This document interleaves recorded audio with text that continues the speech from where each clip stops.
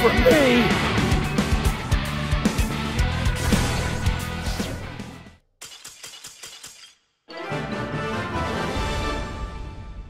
You're a third-rate duelist with a fourth-rate deck.